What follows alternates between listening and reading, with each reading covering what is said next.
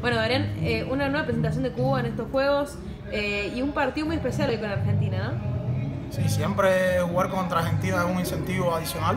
Son los campeones olímpicos, para nadie es un secreto que es el equipo a derrotar aquí en, en el área de América y para mí en especial y para todos los chicos es un incentivo grande, es algo especial poderse topar con el campeón olímpico. Se dio un gran juego defensivo en los primeros, por lo menos tres cuartos. Eh, ¿Fue lo que salieron a buscar de- desde un principio o se fue dando así eh, a lo largo del partido? Sí, la estrategia era tratar de aguantar lo más posible, porque sabemos que es un equipo poderoso, pero tratar de aguantar un poco para después contragolpear y tratar de anotar. No se consiguió, pero viste que el partido tuvimos bastantes ocasiones para anotar, lo que no se consiguió.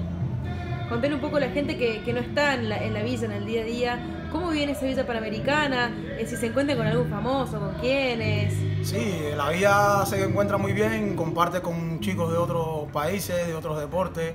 Es algo sin igual, que es una experiencia que hay que vivirla, que se vive muy bien. Bueno, sos uno de los más experimentados en la selección, tenés tres Juegos Panamericanos encima. ¿Qué representa para vos y qué pensás que, que es tu legado para Cuba? Mi legado es la entrega, la entrega, entregarme al máximo, disfrutar de lo que hago, que es lo que me gusta, que es lo que va a quedar para las próximas generaciones de hockeyistas cubanos, que se fíjen por lo menos de mí, que siempre me entregué en la cancha y di todo lo mejor de mí. Bueno, muchísimas gracias y algún saludo en especial a la gente de Cuba.